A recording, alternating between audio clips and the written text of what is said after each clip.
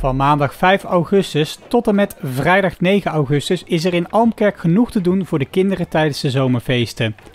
Onder andere konden ze zich weer uitleven in het timmerdorp. Er is weer flink getimmerd, gezaagd en geverfd aan de mooiste hutjes. De laatste drie dagen hebben 100 kinderen een heel timmerdorp opgebouwd op het terrein van de zomerfeesten in Almkerk. Drie dagen hebben de kinderen hier hard lopen timmeren. Ehm, er staan hele mooie hutten hier. Ja, zeker ja. Ze waren gelijk eh, dag 1 al heel fanatiek. Dus er is al flink gebouwd. Timmerdorp valt dit jaar heel vroeg in eh, Almkerk. Ehm, heeft dat nog eh, effect op de, op de bezoekersaantallen? Nou, gelukkig valt ons dat erg mee. Normaal hebben we rond de 150 kinderen.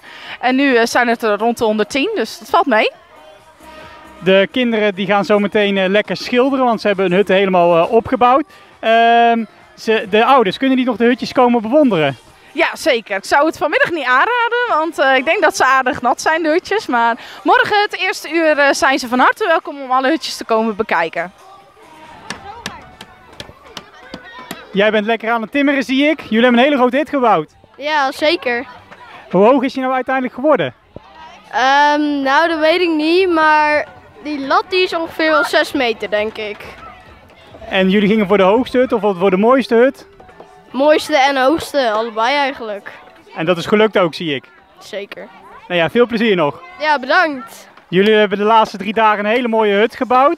Eh, zijn jullie met vriendinnen hier? Of, eh, Gewoon met eh, een groepje. en eh, met hoeveel man hebben jullie deze hut nu gebouwd? Tien. En is nou de mooiste hut geworden van eh, heel Timmerdorp? Ja. Jullie zijn nog lang niet klaar, zo te zien. Ehm, hebben jullie nog, eh, gaan jullie straks nog ook heel de hut verven? Ja. Weet je al welke kleur? Nee. Ja, dat is wel natuurlijk wel heel belangrijk. Maar eh, wat moet er nog allemaal in de hut gebeuren?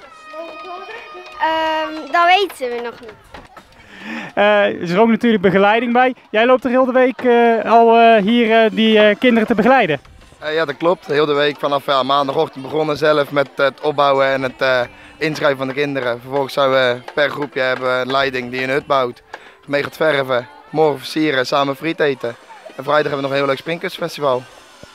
Ehm, Zo'n hut is natuurlijk ook wel een beetje gevaarlijk. Eh, jij bent ook een beetje om de veiligheid te bewaken, denk ik. Dat is de bedoeling, ja. Eh, je weet nooit hoe veilig een hut kan zijn. Ik ben geen timmerman zelf, dus. Maar een hut veilig maken is wel iets wat we met z'n allen kunnen doen. Er was ook een eh, kinderplein voor eh, kinderen die eh, wat minder prikkels komen, konden hebben. Daar hebben er ook een aantal aan deelgenomen.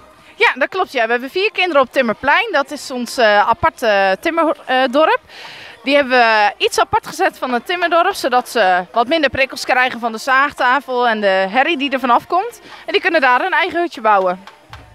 Vanavond is er een kindershowavond. En vrijdag is er nog iets bijzonders voor de kinderen van Kinderdorp. Ja, dat klopt. We hebben heel de tent dan vol staan met springkussens en dan kunnen ze heel de middag lekker springen.